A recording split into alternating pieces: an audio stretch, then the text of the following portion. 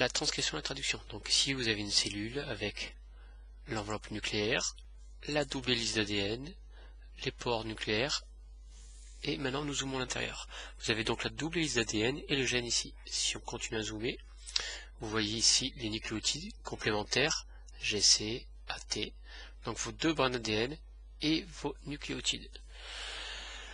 Lors de la transcription, une enzyme, ici l'ARN polymérase, va venir se fixer sur l'ADN. Elle va avancer sur l'ADN, l'ouvrir, et lorsqu'elle va l'ouvrir, elle va prélever dans le noyau des nucléotides libres, qu'on dit précurseurs, et elle va les placer et les polymériser, c'est-à-dire les relier entre eux, pour constituer ce qu'on appelle l'ARN messager.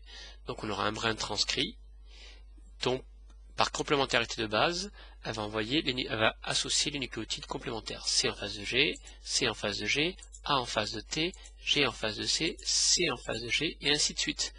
Bien sûr, vous vous en rappelez, l'ARN messager, en face, à la place du T, on remplace par l'uracile U. Donc ici, vous avez un ARN messager qui est en cours de synthèse par l'ARN polymérase qui continue à avancer et fermer l'ADN derrière elle.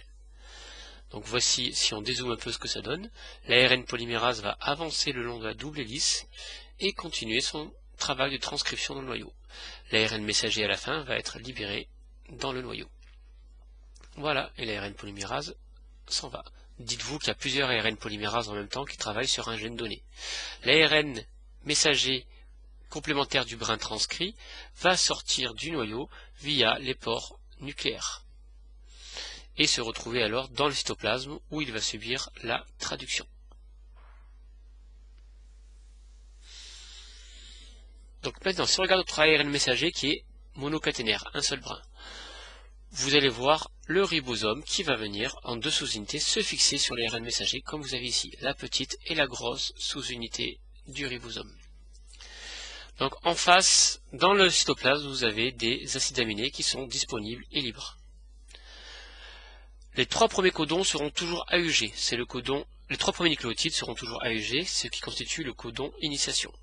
Donc A, U, G, A, U, G, code pour l'acide aminé méthionine.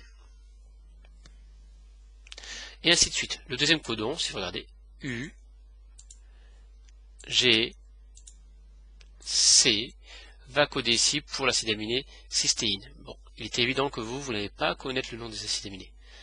Le ribosome, une fois qu'il a passé les deux acides aminés, va créer ce qu'on appelle une liaison peptidique et va avancer d'un codon.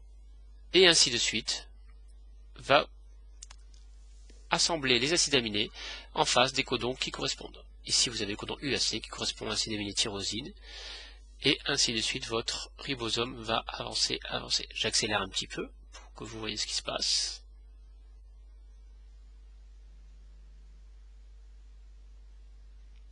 Et ceci jusqu'à arriver à un codon particulier sur la fin, qui on appelle codon stop. À ce niveau-là, le codon ne code pour aucun acide aminé.